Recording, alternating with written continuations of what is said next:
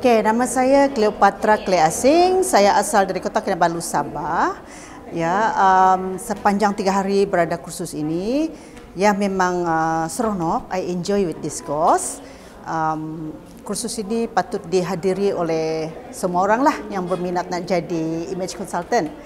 Okay, um, kursus ini bukan sahaja mengajar kita bagaimana nak jadi image consultant, tetapi dia memberi panduan bagaimana nak um, memohon diploma kemahiran Malaysia dari segi perundingan image dan memang kursus ini sangat berbaloi ya dan harga juga berpatutan. Cute Carry is awesome. Yeah, awesome.